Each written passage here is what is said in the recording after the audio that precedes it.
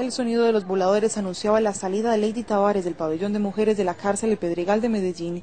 Después de horas de espera, la vendedora de rosas salió en este vehículo del IMPEC para llegar hasta su casa, la misma a la que no iba hace 12 años.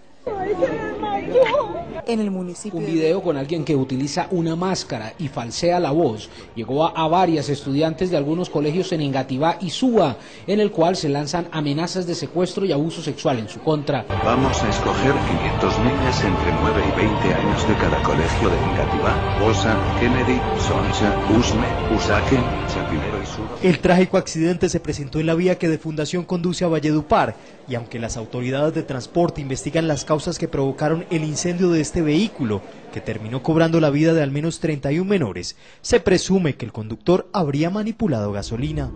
Los uniformados llegaron hasta este bosque del sector de arborizadora alta y en medio de la oscuridad encontraron al menor amarrado contra uno de estos palos. Es una escena muy, muy, muy pesada, encuentran el niño todavía en, en el estado como lo había dejado el sujeto las cuerdas en los brazos, todo eso. Afortunadamente hubo personas de la comunidad que se percataron y llamaron al cuadrante. James Rodríguez sigue siendo el protagonista de las portadas de los medios de comunicación internacionales. El colombiano le aseguró al diario AS de España que está listo para el reto del Real Madrid.